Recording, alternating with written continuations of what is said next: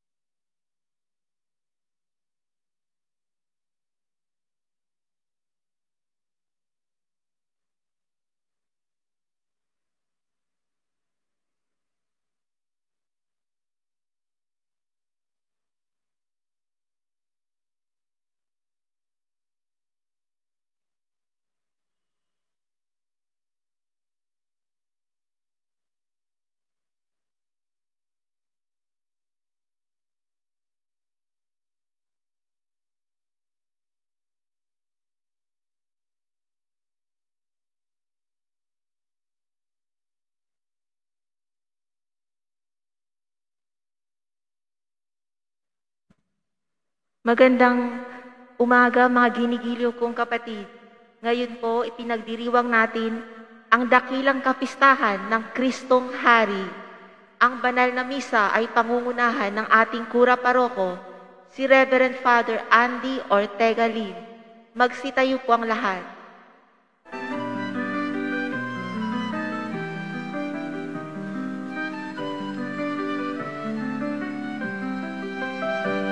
Magsaya pagkat narito na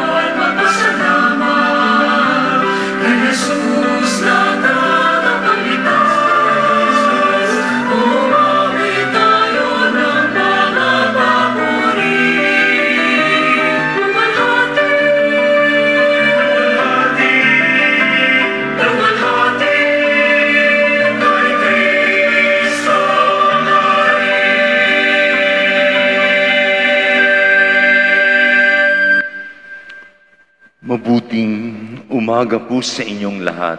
Mabuting umaga po, Father.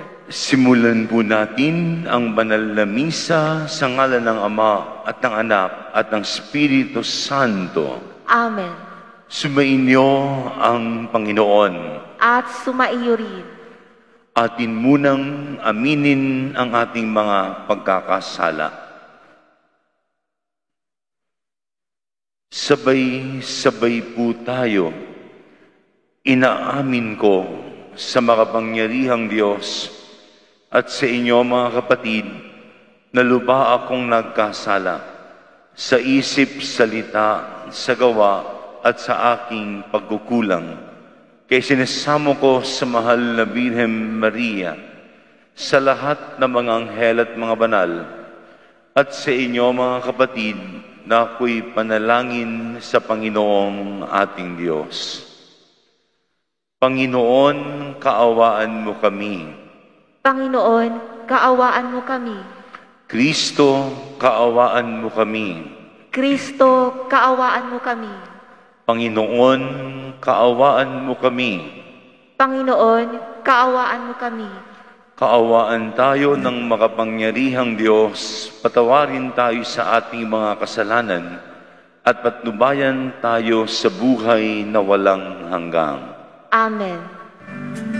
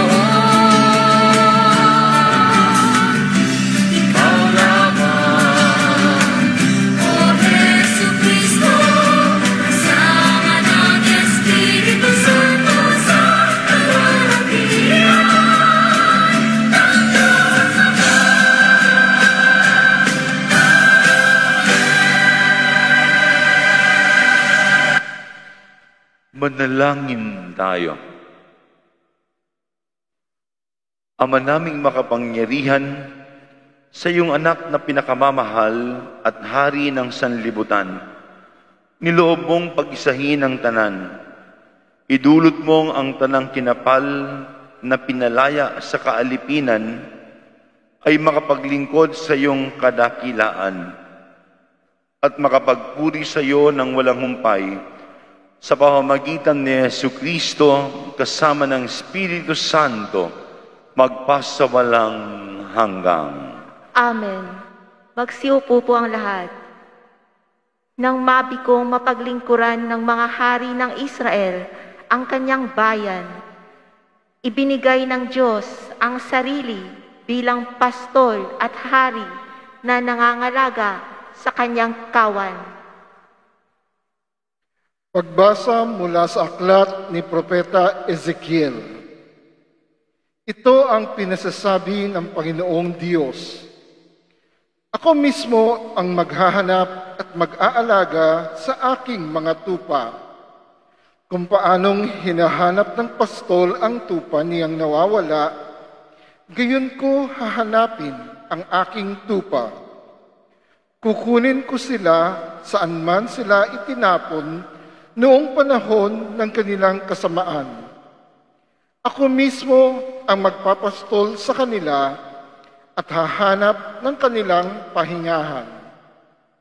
Hahanapin ko ang nawawala, ibabalik ang nalalayo, hihilutin ang napilay, palalakasin ang mahihina, at babantayan ang malulusog at malalakas.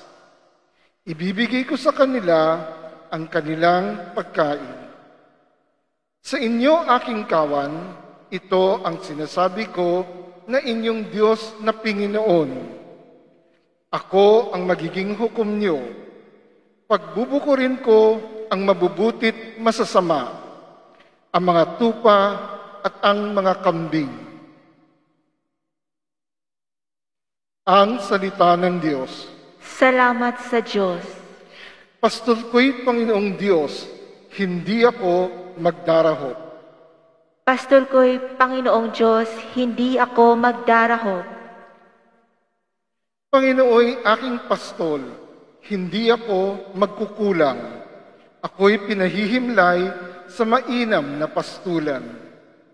Pastol ko'y Panginoong Diyos, hindi ako magdarahop. At inaakay niya ako sa tahimik na batisan. Binibigyan niya ako niyong bagong kalakasan. At sangayon sa pangako na kanyang binitiwan, sa matuwid na landasi, doon ako inaakay. Pastol ko'y Panginoong Diyos, hindi ako magdarahop. Sa harapan ng lingkod mo, ikaw ay may handang dulang. Ito'y iyong ginagawang nakikita ng kaaway. Nalulugod ka sa amin na ulo ko ay langisan at pati na ang kalis ko ay iyong pinaapaw. Tunay na ang pag-ibig mo at ang iyong kabutihan. Sa saakit tataglayin habang ako'y nabubuhay. Doon ako sa templo mo lalagi at mananahan. Pastol ko'y Panginoong Diyos, hindi ako magdarahop. Sa kanyang muling pagkabuhay, kinilala si Jesus bilang hari ng sanlibutan, ang Panginoon sa lahat ng panahon. Pagbasa mula sa unang sulat ni Apostol San Pablo sa mga taga-Korinto. Mga kapatid, si Kristo'y muling binuhay bilang katibayan na muling bubuhayin ang mga patay. Kung paanong dumating ang kamatayan sa pamamagitan ng isang tao, gayon din naman dumating din ang muling pagkabuhay sa pamamagitan ng isang tao. Sapagkat kung paanong mamamatay ang lahat dahil sa kanilang kaugnayan kay Adan, gayon din naman mabubuhay ang lahat dahil sa kanilang kaugnayan kay Kristo. Ngunit ang bawat isay sa kanya-kanyang takdang panahon. Si Kristo ang pinakauna sa lahat. Pagkatapos, ang mga kay Kristo sa panahon ng pagparito niya. At darating ang wakas, pagkatapos malupig ni Kristo, ang lahat ng kaharian, pamahalaan at kapangyarihan. At ibibigay niya sa Diyos at Ama ang paghahari. Sapagkat si Kristo'y dapat maghari hanggang sa malupig niya at lubusang mapasuko ang kanyang mga kaaway. Ang kahuli-huli ang kaaway na kanyang pasusukuin ay ang kamatayan. At kapag ang lahat ay nasa ilalim na ng kapangyarihan ni Kristo, ang anak naman ang paiilalim sa kapangyarihan ng Diyos na naglagay ng lahat ng bagay sa ilalim ng kapangyarihan niya. Sa gayon, lubusang maghahari ang Diyos sa kalahat-lahatan. Ang salita ng Diyos. Salamat sa Diyos. Magsitayo po ang lahat.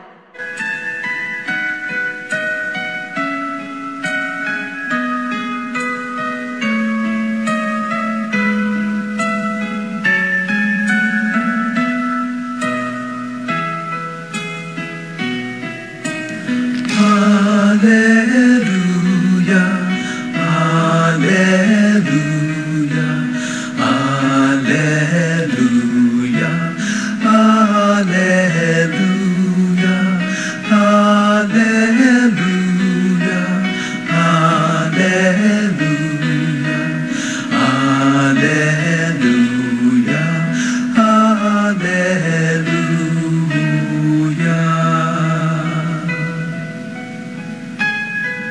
Pagpalain ang dumarating sa ngalan ng poon natin, paghahari kanyang angkin. Sumainyo ang Panginoon, At sumaiyo rin. ang mabuting balita ng Panginoon ayon kay San Mateo. Papuri sa iyo, Panginoon.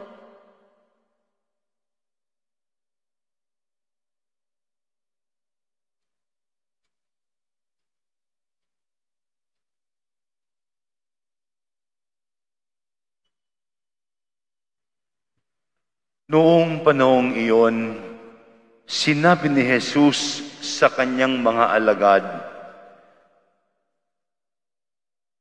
Darating ang anak ng tao bilang hari, kasama ang lahat ng anghel, at luluklok sa kanyang maringal na trono. Sa panahong iyon, matitipon sa harapan niya ang lahat ng tao. Sila'y pagbubukod-bukurin niya tulad ng ginagawa ng pastol sa mga tupa at mga kambing. Ilalagay niya sa kanyang kanan ang mga tupa at sa kaliwa ang mga kambing. At sasabihin ng hari sa mga nasa kanan, Hali kayo, mga pinagpala ng aking ama, pumasok na kayo at manirahan sa kahariang inihanda para sa inyo mula pa ng likain ng sanlibutan. Sapagkat ako'y nagutom at inyong pinakain, nauhaw at inyong pinainom. Ako'y isang dayuhan at inyong pinatuloy. Ako'y walang maisuot at inyong pinaramtan. Nagkasakit at inyong dinalaw. Ako'y nabilanggo at inyong pinuntahan. Sasagot ang mga matuwid, Panginoon, kailan po namin kayo nakitang nagutom at aming pinakain o nauhaw at aming pinainom? Kailan po kayo naging dayuhan at aming pinatuloy o kayo'y walang maisuot at aming, aming pinaramtan? At kailan po namin kayo nakitang may sakit o nasa bilangguan at aming dinalaw? Sasabihin ng hari, sinasabi ko sa inyo, nang gawin ninyo ito sa pinakahamak sa mga kapatid kong ito, ito ay sa akin ninyo ginawa. At sasabihin naman niya sa mga nasa kaliwa, Lumayo kayo sa akin, mga sinumpa. Kayo'y pasaapoy na di mamamatay, na inihanda para sa Diablo at sa kanyang mga kampon. Sapagkat ako'y nagutom at hindi ninyo pinakain, nauhaw at hindi ninyo pinainom. Ako'y naging isang dayuhan at hindi pinatuloy. Ako'y nawalan ng maisuot at hindi ninyo pinaramtan. Ako'y may sakit at nasa bilangguan at hindi ninyo dinalaw.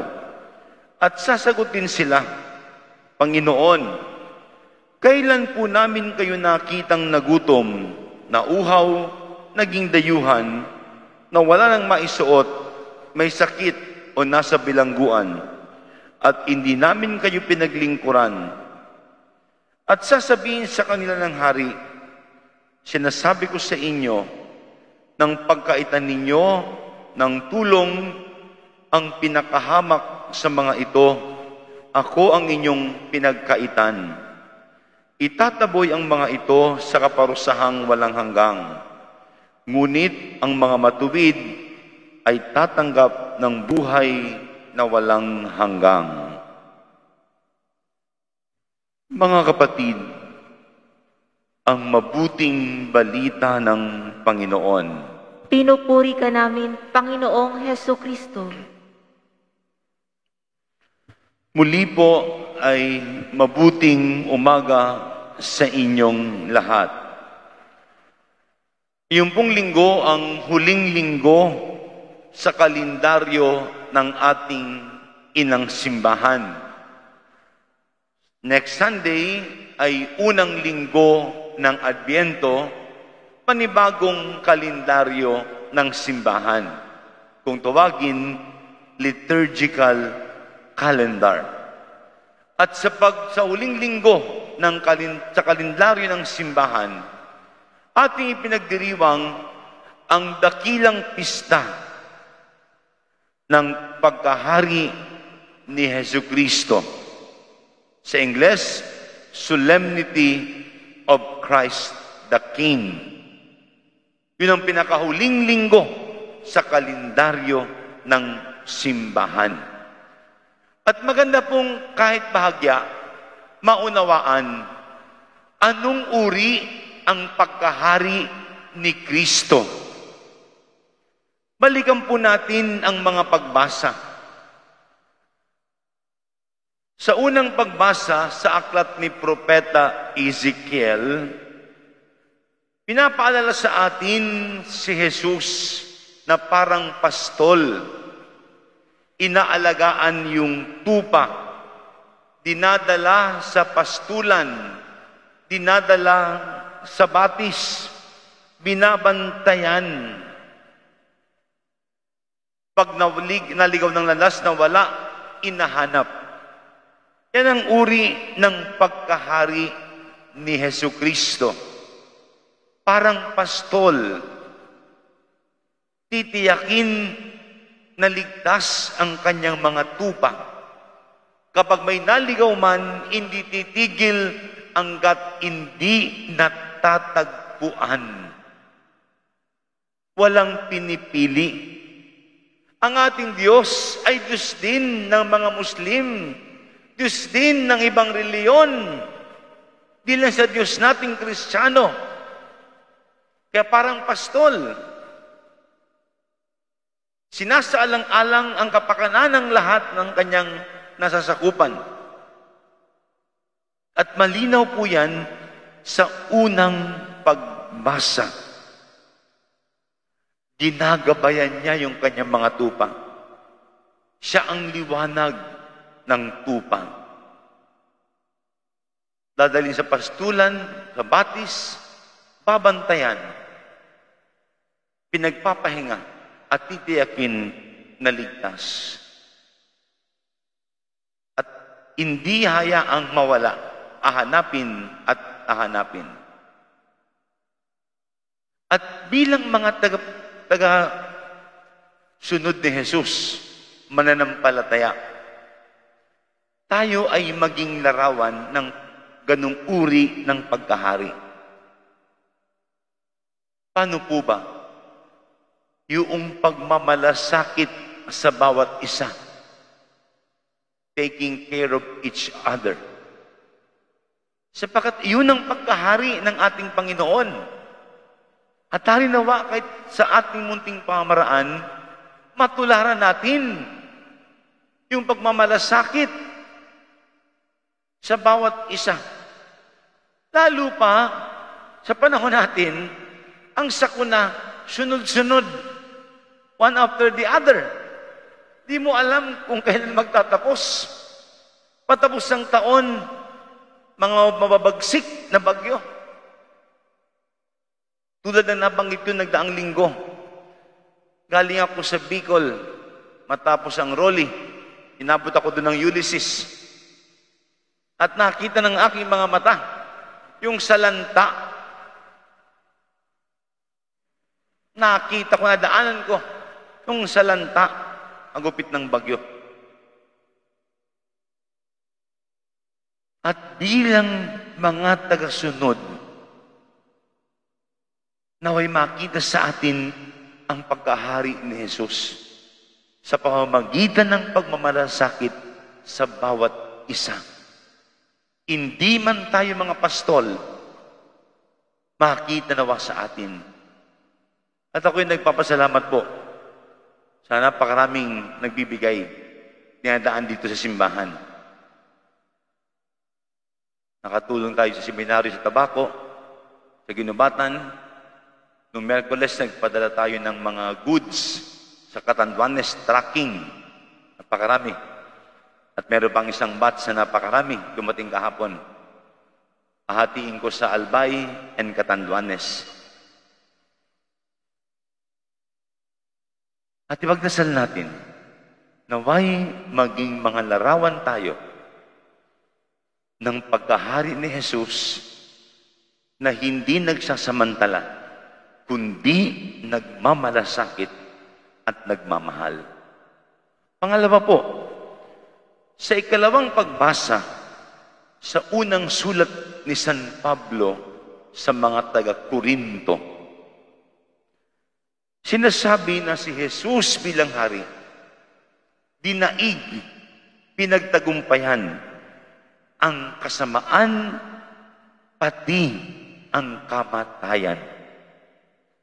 Yan ang uri ng pagkahari ni Jesus. Yung masama, sinupil, dinaig, tinalo, pati kamatayan, inapakan, pinagtagumpayan sa kanyang muling pagkabuhay. At kung meron mang tayong kakapitang hari, kay Jesus na sana, ang tanging hangarin ay kabutihan.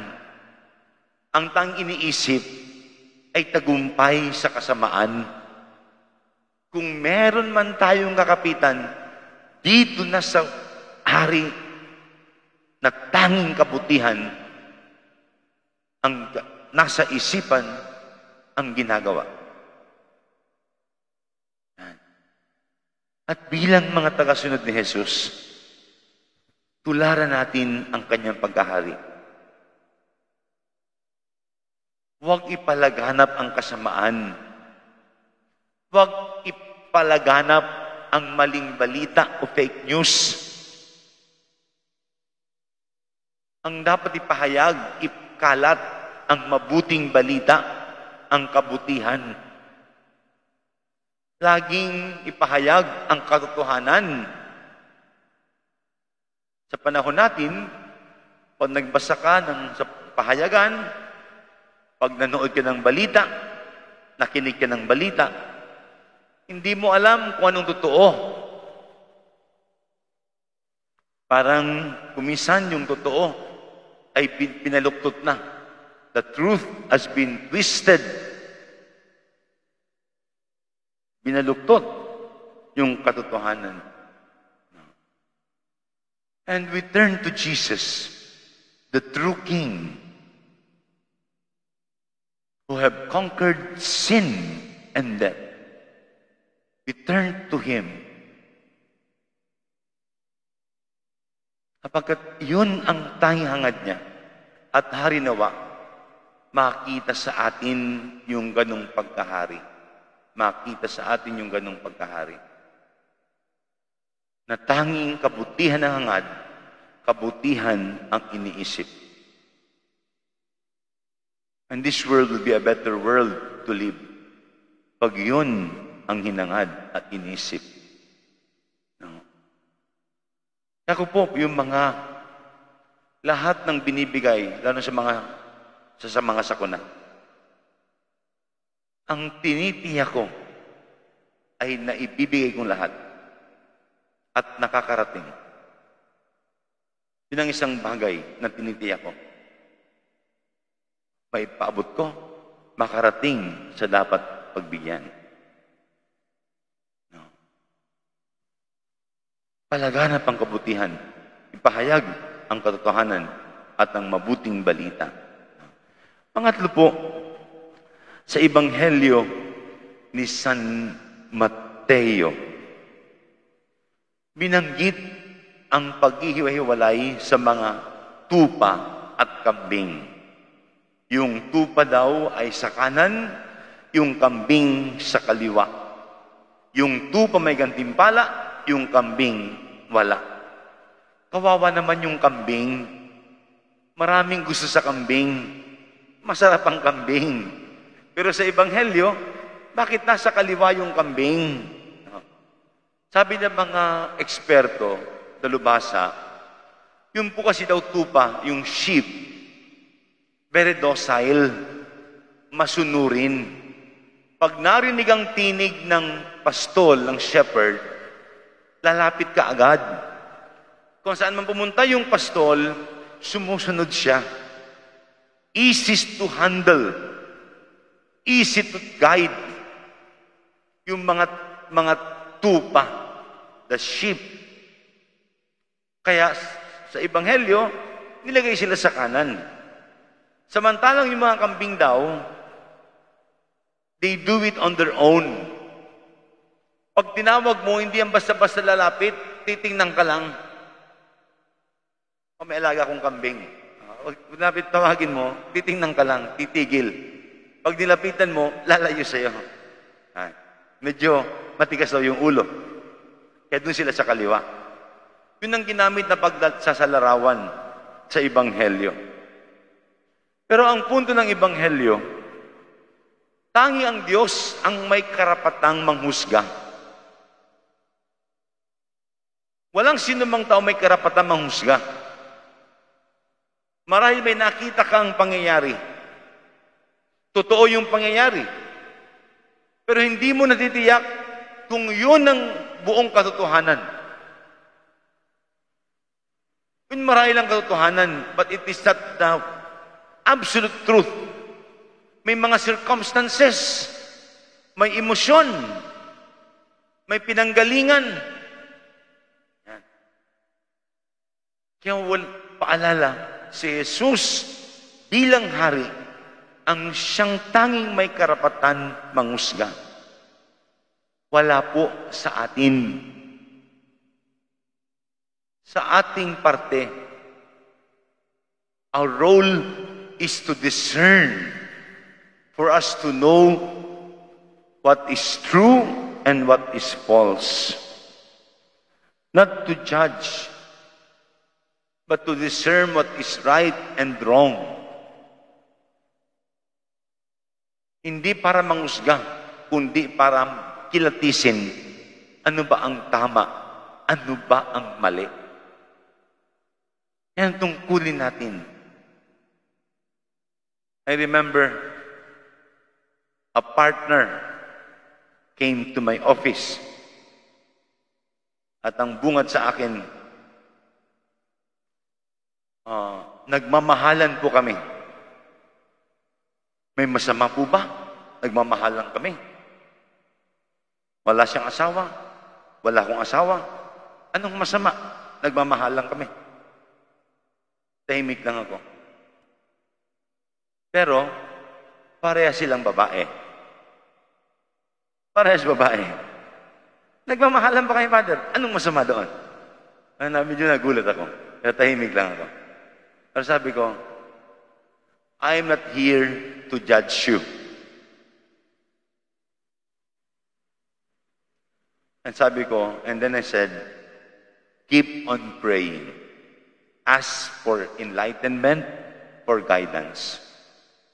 I'm not here to judge you. I cannot change you overnight. Pray for guidance. Pray for enlightenment. Nakalimutan ko na nga mga muka. Nakalimutan ko na mga pangalan. Pero hindi ko nakakalimutan yung karanasan, yung kwento. Tanging si Jesus ang hari ang may karapatang mangusga. At bilang mga tagasunod, ang tungkulin natin, kilatisin alamin ano ang totoo para yun ang tularan at ano ang hindi totoo para maiwa, yun ay maiwasan. Ngayon pong nagtatapos ang kalendaryo ng simbahan, sa dakilang pista ng Kristong Hari. Hilingin natin kay Heso Kristo ang ating Panginoon at Hari na siyang maghari sa ating mga puso, sa ating mga buhay, pamilya, pamayanan, at sa buong mundo. Tandaan niyo po ito. Halos lahat tayong katoliko at anumang reliyon, meron tayong altar sa bahay. Naglalagay tayo ng altar, hindi lang para tayo'y maligtas, ipag-adya sa anuman masama. Hindi para, not only to protect us, bakit tayo may altar? To remind us that that is the true King. Lahat ng Katoliko, tiyak may imahe ni Kristo sa bahay. Huwag nating kalimutan, tuwing tayo na sa bahay, darating sa bahay, alis ng bahay, pag nakita niyo ang inyong mga altar, yun ay paalala. Ang tunay na hari, si Yesu Kristo. Madalas pong nakakalimutan natin yan. Kaya madali tayong mahulog sa patibong ng iba't ibang hari. There is only one true King. Everything will end in death. But Jesus never ended in death. He rose from death. Kaya sa pagtat- pagtatapos ng taon ng simbahan, naway patuloy na maghari si Jesus sa ating lahat. Magsitayo pong lahat at sabay-sabay natin ipahayag ang ating pananampalataya. Sumasampalataya ako Sa Diyos amang makapangyarihan sa lahat, na may gawa ng langit at lupa, sumasampalataya ko kay Heso Kristo, iisang anak ng Diyos, Panginoon nating lahat, nagkatawang tao siya, lalang ng Espiritu Santo, ipinanganak ni Santa Mariang Birhen, pinagpakasakit ni Poncio Pilato, ipinako sa krus, namatay, inilibing, nanaog sa kinaroroonan ng mga yumao, nang may katlong araw na buhay na mag-uli, umakyat sa langit, naluluklok sa kanan ng Diyos, amang makapangyarihan sa lahat. Doon magmumulang paririto at huhukom sa nangabubuhay at nangamatay na tao. Sumasampalataya naman ako sa Diyos Espiritu Santo, sa banal na simbahang katolika, sa kasamahan ng mga banal, sa kapatawaran ng mga kasalanan, sa pagkabuhay na muli ng nangamatay na tao, at sa buhay na walang hanggan. Amen.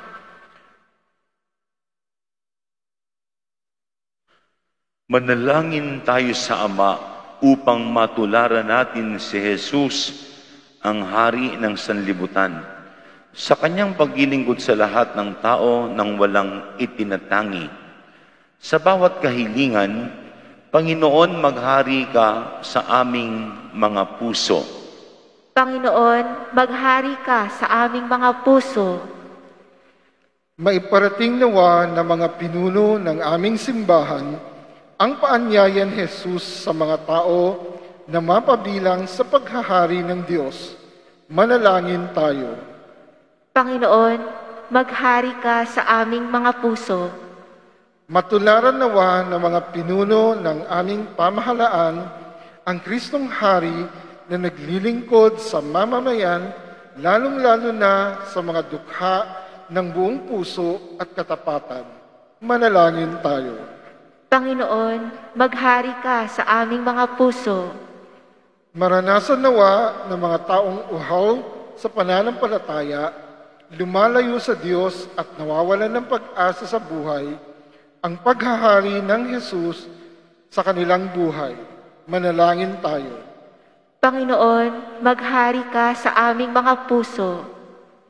Mapanan, mat- mapanatili nawa naming lahat ang pagkakaisa at pagmamahalan upang patuloy na maghari si Jesus sa aming mga puso.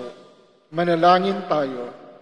Panginoon, maghari ka sa aming mga puso.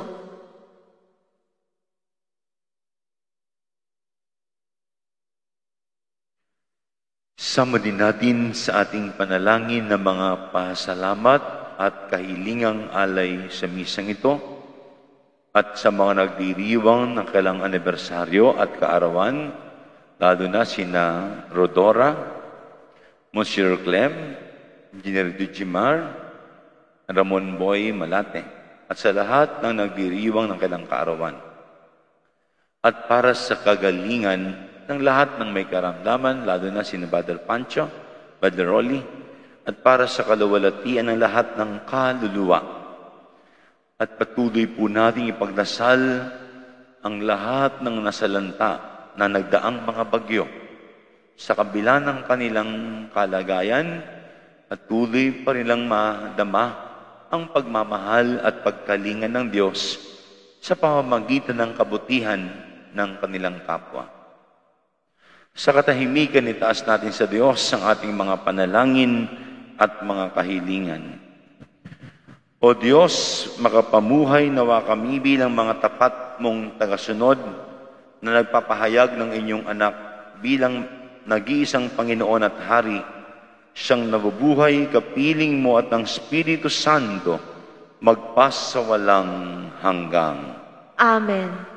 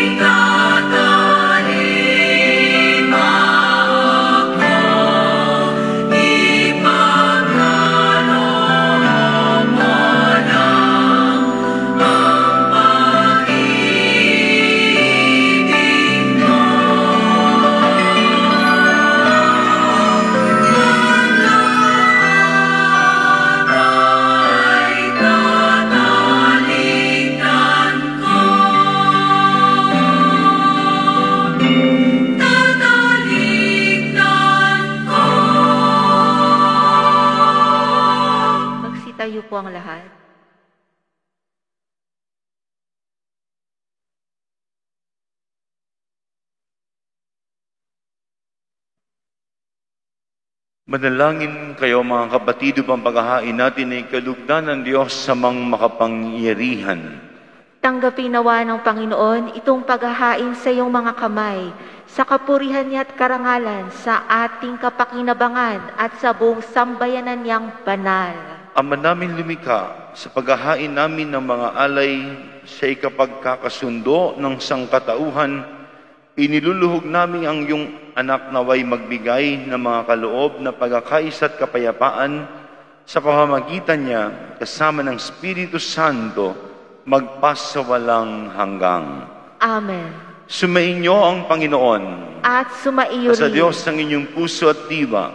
Itinaas na namin sa Panginoon. Pasalamatan natin ang Panginoong ating Diyos. Marapat na siya ay pasalamatan. Ama naming makapangyarihan, tunay ang marapat na ikaw ay aming pasalamatan inirang mong tagapaghain ng tanan ang iyong anak na Panginoon ng sanlibutan. Pinadaloy mo sa Kanya ang langis ng kasiyahan, tanda ng paghirang mong pangmagpakailanman. Sa paghahaing ginampanan niya sa krus, siyang dalisay na tagapagbuklod. Siyang gumanap sa aming pagkatubos, siyang sumakop sa sansinukob. Ang kanyang paghaharing lagi sa lahat ay siyang lubusang naglalahad ng iyong kadakilaang matapat upang buhay mo'y sa lahat maigawad. Sa paghahari niya, lahat ay hinahatian sa iyong kagandang loob at kabanalan, sa iyong dangal at kapayapaan. Kaya kaisa ng mga anghel nag-isiawit ng bapuri sa iyo nang walang humpay sa kalangitan, kami nagbubunyi sa iyong kadakilaan. Santo, Santo, Santo, Panginoong Diyos na makapangyarihan, napupuno ang langit at lupa ng kaluwalhatian mo, o sana sa kaitaasan. Pinagpala ang naparirito sa ngalan ng Panginoon, o sana sa kaitaasan. Ama naming banal, ikaw bukal ang tanang kabanalan, kaya't sa pamamagitan ng iyong Espiritu, kay banal mga kaloob na ito, kumpara sa amin maging katawan at dugo ng aming Panginoong Yesu Kristo. Bago niya pigtiisang kusang loob na maging handog, ginawa kanyang tinapay, pinasalamatan kanya, pinaghati-hati niya iyon, iniabot sa kanyang mga alagad at sinabi, Tanggapin ninyong lahat ito at kanin itong aking katawan na ihahandog para sa inyo.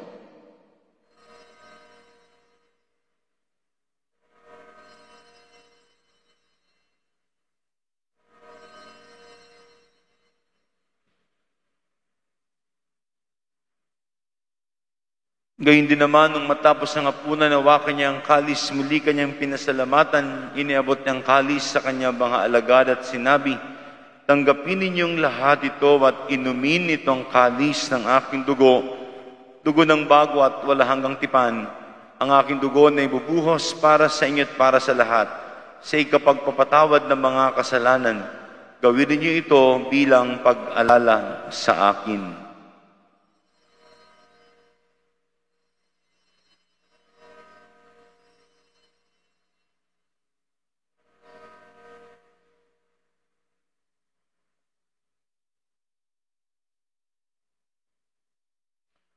Ang misteryo ng pananampalataya. Si Kristo ay namatay, si Kristo ay nabuhay, si Kristo ay babalik sa wakas ng panahon. Ama, ginagawa namin ngayon ang pag-alala sa pagkamatay at muling pagkabuhay ng iyong anak, kaya tiniali namin sa iyo ang tinapay na nagbibigay buhay at ang kalis ng kakaloob ng kaligtasan. Kami nagpapasalamat dahil kami yung minarapat at tumayo sa harap mo para maglingkod sa iyo. Isinasamo namin kaming magasalo-salo sa katawan at dugo ni Kristo ay mabuklod sa pagkakaisa sa pamamagitan ng Espiritu Santo. Ama, lingapin mo ang iyong simbahang laganap sa buong daigdig. Puspusin mo kami sa pag-ibig. Kaisa ni Francisco na aming Papa, ni Broderick na aming tagapangasiwa, ang lahat ng obispo, mga pari at diakono.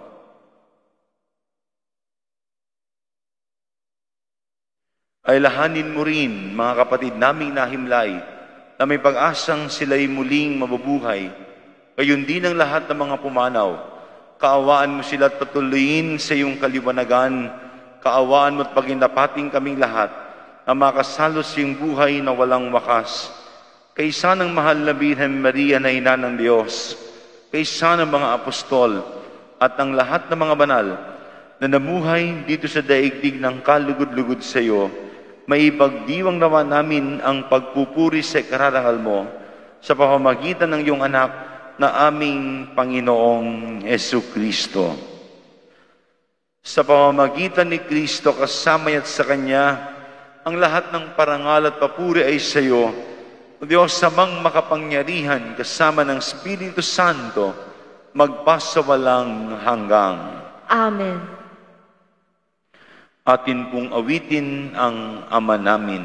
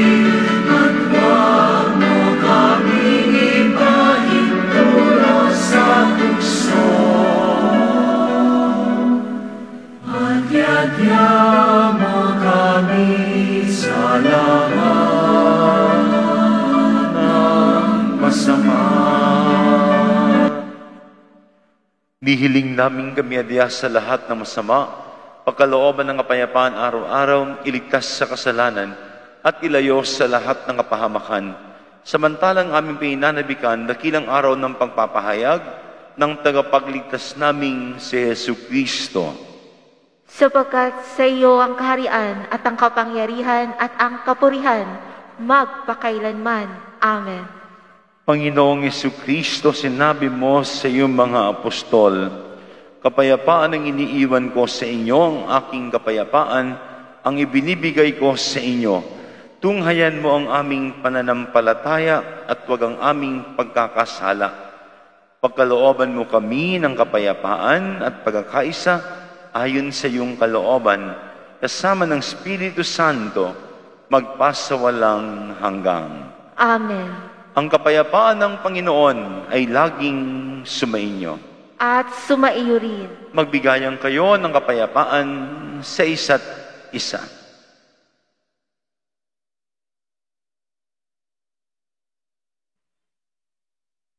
Kordero ng Diyos na nag-aalis ng mga kasalanan ng sanlibutan, maawa ka sa amin. Kordero ng Diyos na nag-aalis ng mga kasalanan ng sanlibutan, maawa ka sa amin. Kordero ng Diyos na nag-aalis ng mga kasalanan ng sanlibutan, ipagkaloob mo sa amin ang kapayapaan.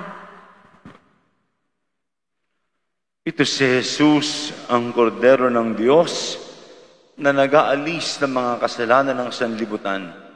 Mapapalad tayong inanyayahang makiisa sa kanyang banal na piging.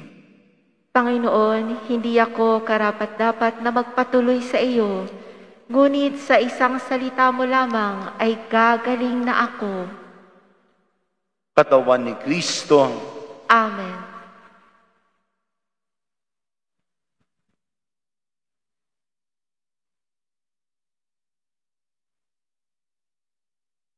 Para sa maayos na pagpila sa komunyon, hintayin po ang hudyat ng ushers, greeters, and collectors kung kailan tatayo at pipila para sa komunyon. Sundan ang pulang cross na marka sa aisle para sa physical distancing. Sundan naman po ang arrow kung saan ang exit matapos ang komunyon.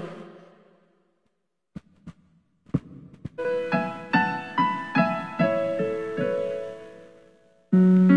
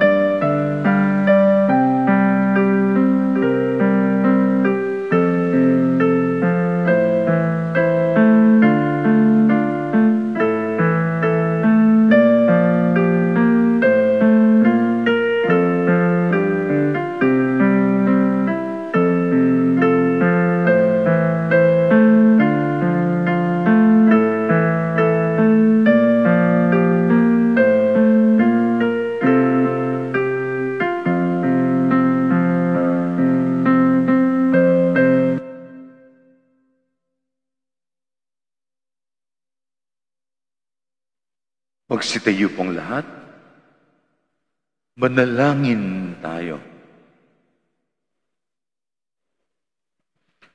Ama naming magmahal, kaming pinapakinabang mo sa pagkaing nagbibigay buhay and gusto mamong kaisa niyang makapamuhay sa kaharian sa langit, magpakailanman, pakundangan sa karagdagang sundin ang mga kautusan ng Haring si Kristo sa sanlibutan sa pamamagitan niya kasama ng Espiritu Santo magpasawalang hanggang. Amen. Pagdasal po natin lahat ng kaluluwa. May the souls of all the faithful departed, especially those whom we promise to pray, and those who need our prayers, through the mercy of God, rest in peace. Amen. Eternal rest grant unto them, O Lord. And let your perpetual light shine upon them. May they rest in peace. in peace. Amen. Our Father in heaven, hallowed be thy name. The kingdom come, thy will be done on earth as it is in heaven. Give us this day our daily bread, and forgive us our trespasses, as we forgive those who trespass against us. And lead us not into temptation, but deliver us from evil. Hail Mary, full of grace, the Lord is with you. Blessed are you among women, and blessed is the fruit of thy womb, Jesus. Holy Mary, Mother of God, pray for us sinners, now and at the hour of our death. Amen. Glory be to the Father, and to the Son, and to the Holy Spirit. As it was in the beginning, is now, and ever shall be, world without end. Amen. Salamat po sa inyong pakikiisa sa ating banal na misa. Gayon din po sa mga patuloy na sumusubaybay sa ating Facebook page, live streaming at sa ating YouTube. Maraming salamat po sa inyo. Ah, ngayon po ay Christ the King. Ah, instead of the usual procession, ang gagawin po mamayang 3.30 ay meron tayong Holy Hour. Let us pray together. And next Sunday will be the first Sunday of Advent. We will announce the schedule for Simbang Gabi. Sumainyo ang Panginoon At sumaiyo rin at pagpalain kayo ng makapangyarihang Diyos, Ama, Anak at Espiritu Santo. Amen. Tapos ng banal na misa, humayo kayong taglay ang kapayapaan ni Kristong muling nabuhay. Salamat sa Diyos. Mabuting umaga po sa inyong lahat.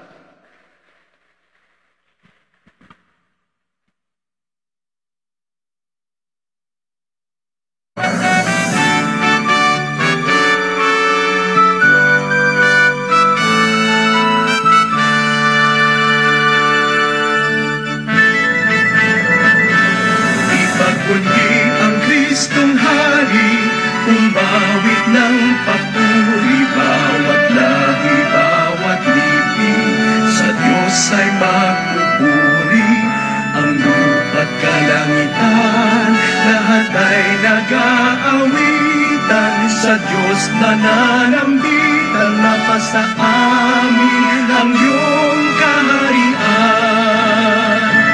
Ipatuli ang Kristong Hari, umawit ng papuri bawat na bawat hindi.